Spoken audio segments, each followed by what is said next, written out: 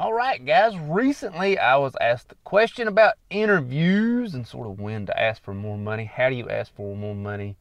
And certain things like that. And there is no rhyme or reason as to really how to do it. The thing to note is everyone has their price. The interviewer and the interviewee both have a number that they want to reach typically, as a person who's been on both ends of the fence, getting a job and trying to get someone to get a job, I understand that the person doing the interview is typically not the person with the final number.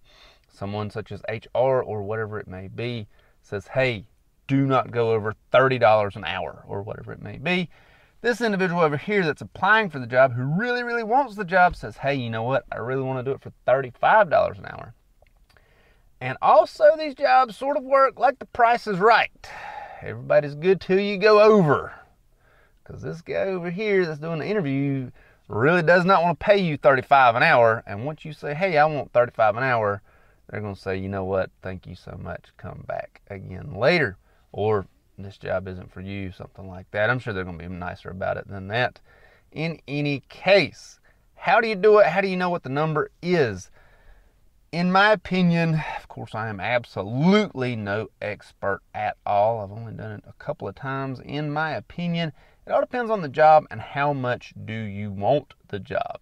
If you're a brand new grad nurse and you've never had any job in your life, and this job that you're being presented with is your dream job, is, is your go to, is not a stepping stone.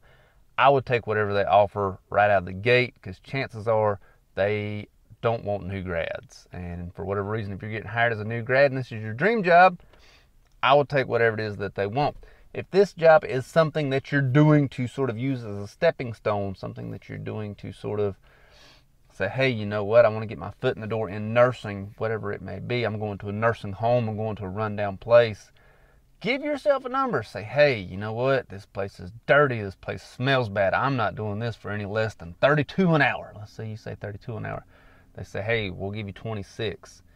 You say, no, I really need 32 for this job. And if they say, no, you know what? You're out a dirty, smelly facility.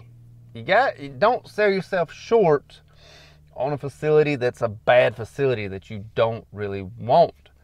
And then how do you go into this? Well, I personally, as both positions, the interviewer and the interviewee, go into this the same exact way.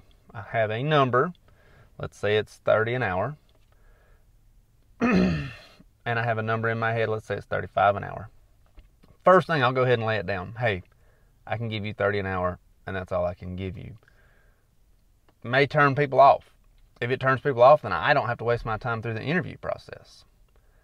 If it keeps people interested, then hey, you know what? I might get somebody wanting the job. If I come in and say, hey, I have to have 35 an hour, I have to have 32 an hour, whatever it is, and they hem and haw a little bit, maybe, maybe I'll be getting my foot in the door if they say something like, hey, let's go ahead and do this interview anyways. There's no way we can afford that. You never know. Maybe they can. Maybe they'll counter offer, whatever it may be.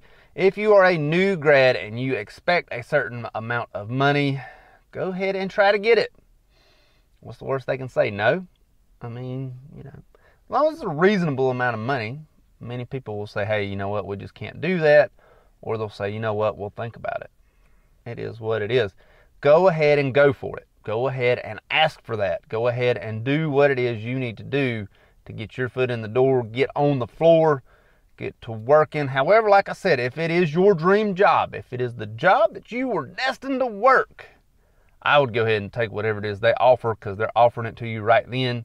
You know what? This offer may not be on the table for a new grad in a little bit later. Let's say you want to go to a burn unit. Burn units typically don't hire new grads. You say, hey, I finally got on a burn unit. I'm going to take whatever it is that they offer me if that is your dream job. Uh, so certain positions, I would go ahead and take whatever it is I want or whatever it is that they're offering. Other positions, I would just say, you know what? I feel like I'm worth more than what you want to pay. I feel like I'm worth that much. They may counter offer you. It may be just as good. It may be a little bit less, but at least you did try. No rhyme or reason to it. Just remember, price is right rules. Once you go over, you've busted. You're out. You've lost the showcase showdown. whatever it may be. Hope it helps. Thank you much.